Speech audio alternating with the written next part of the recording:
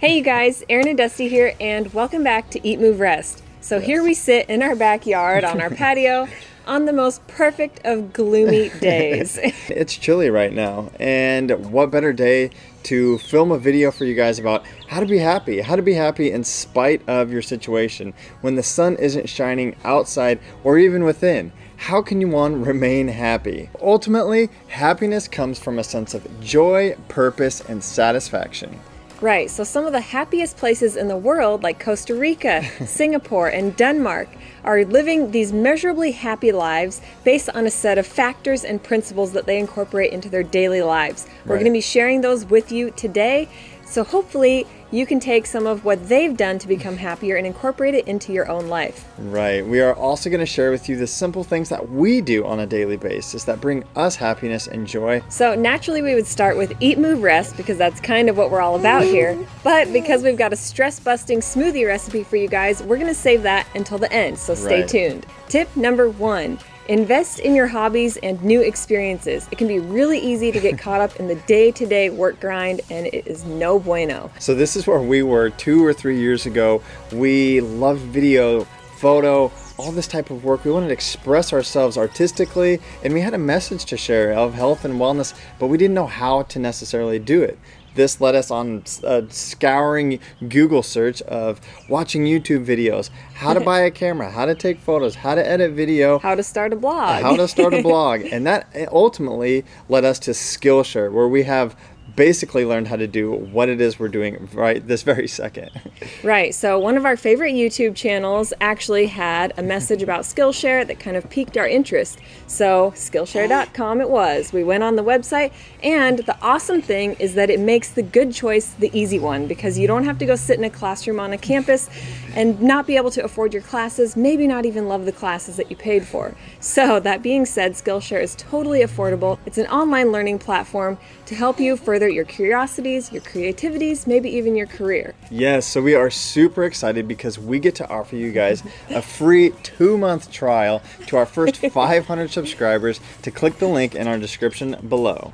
Yeah, so you can take classes on everything from how to chop a vegetable yes. to how to start a blog to how to make a YouTube video. Yes. If you guys want a dedicated video on how we started our YouTube channel, let us know in the link below. Right. That being said, new hobbies was just one part of our tip number one. The other part is new experiences. So we absolutely love to travel and see the world. So we kind of combined our hobby with new experiences by bringing our cameras everywhere with us on the go. So we encourage you guys travel somewhere, book a trip you've never been, and tell your story in your own unique creative way. Tip number two, get out in nature. Go for a hike, climb a mountain, swim down a river, get in a canoe, whatever you have to do to get out and explore the world around you. It can be as simple as slipping your shoes off and walking barefoot in the grass. This is a fantastic thing that you can do if you've been working at your work desk all day. Slip your shoes off at the end of the day and go walk around in the grass. Get yourself some pets, get yourself some plants, bring the outdoors in. We've got a plethora of house plants you guys have seen in one of our recent YouTube videos, or better yet, start a garden. So, tip number three have a spiritual practice, whether that's sitting down every morning or evening to read scripture, to meditate, to pray, to simply give thanks. Get out in nature, like Erin mentioned before. Maybe you take a trip, go to Italy like we did, and experience the awe and the wonder. There's so much beauty in this world. And we say it's God. We say it's our Creator that has given us everything that we have. He gives us the strength and the peace to remain happy. And that's our spiritual practice, and we seriously recommend for everyone out there.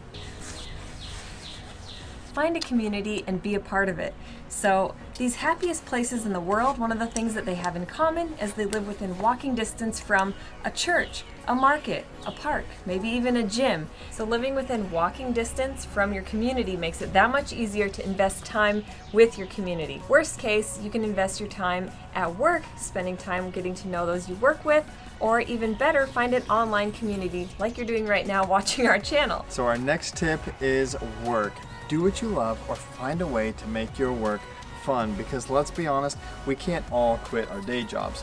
I happen to be a landscaper by trade. I've got a trailer full of mulch to get to work on, but I love it. And it's not because it's easy, but it's because I love it. So do something you love, or like we said before, find a new hobby that can maybe turn into something that could make you money, that could be a new source of income for you. At the end of the day, if you can't enjoy what it is you're doing, set boundaries between work and play and make sure to make the time for play. Healthy habit number six is Spend enough time with family and get the emotional support that you need. So, Dusty just talked about work life balance, and it's super important to not get too wrapped up in your own schedule and to set that time for friends, family, and loved ones. Right. So, obviously, that's a new thing for us, especially with Max, who, by the way, is passed out right here next to us.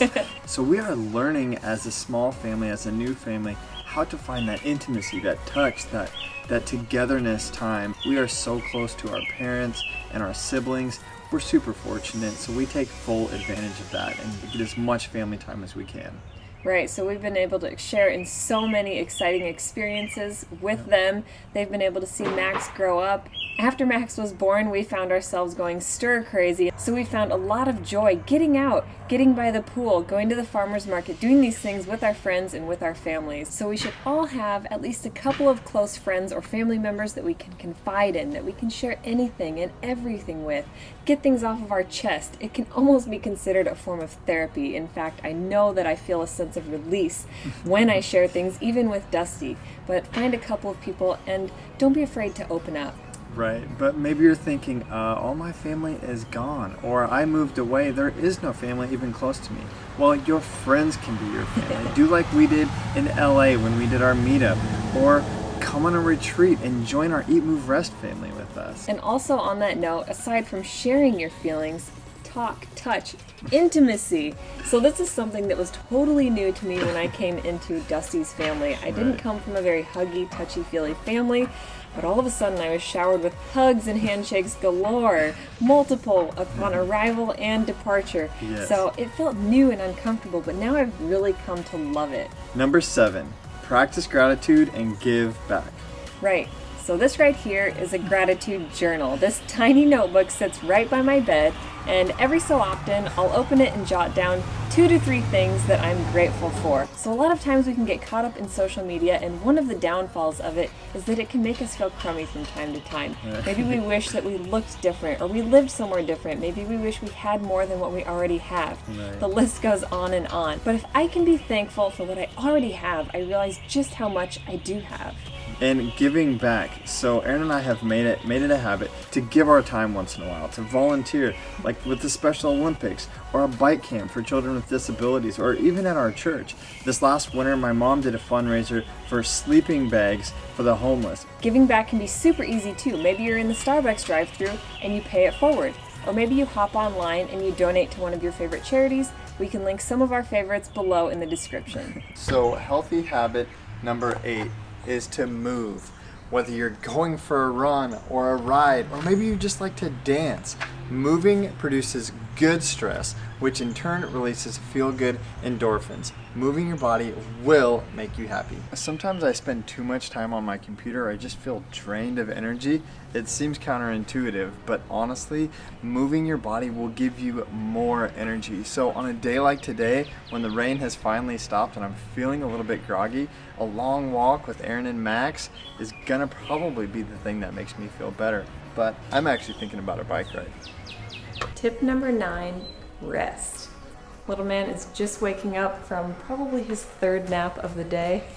and one thing's for sure, babies know when they need to rest, they rest. As a new mom, I think it's safe to say I know a thing or two about being sleep deprived. But that being said, aside from getting your eight hours of sleep, like we always say, there are a ton of other ways that you can get your rest. So, practicing meditation and mindfulness, even just kicking your feet up and spending some quality time with your loved ones again. So, you can see a lot of these healthy habits are intertwined, and the more that you can practice them, the more that you'll feel you're not checking off a list, but that they're free flowing and that they all make you happy working in conjunction together. Okay, you guys, our last and final tip is to nourish your body. It all starts with what's on your plate and what ultimately ends up in your mouth. on that note, Erin has got an epic stress busting smoothie for you guys now. Finally, you guys, I'm going to be sharing with you our stress busting smoothie favorite. This one is our Choco Maca Protein Smoothie. So, I'm going to be cluing you in as to why these ingredients are so beneficial at boosting your mood and diminishing your stress. Keep in mind, this recipe is for two. For this Choco Maca smoothie, you will need six frozen ripe speckled bananas, two tablespoons of cacao powder, two tablespoons of hemp seeds, two teaspoons of maca powder, and optionally, one scoop of chocolate plant protein. You will also need a liquid of your choice. We are doing anywhere from one to two cups of almond milk. It's best if you can leave your bananas to set out for 10 to 15 minutes before blending, especially if you don't have a high-speed blender. But we're gonna place them into our Vitamix here. And the reason bananas are so fantastic for fighting stress is because they're high in potassium, which can help if you have muscle cramps or aches or spasms. Get those bananas in. Ingredient number two, and my favorite, is cacao. So it's super high in polyphenols and flavonols, which are antioxidants that increase serotonin in the brain. Serotonin is responsible for better mood, better sleep, and reduced anxiety. Next is hemp seeds. So aside from the fact that they're super high in fatty acids, they're also extremely high in magnesium. So magnesium increases the amount of GABA, which is another neurotransmitter in the body. When that goes up, stress, anxiety, depression goes down. It also helps with sore muscles. Up next is maca powder, which is an adaptogen. So adaptogens are known for surviving some of the harshest climates on the planet. They're fantastic at adapting within the body as well. So they can help with stress management, anxiety, libido, energy, and sleep. All of the above, yes please. I'm adding in this optional plant protein because especially if you're highly active, it's going to be great for repairing your muscles. Finally, your liquid. Almond milk is another that has all kinds of beneficial stress busting components. Ready?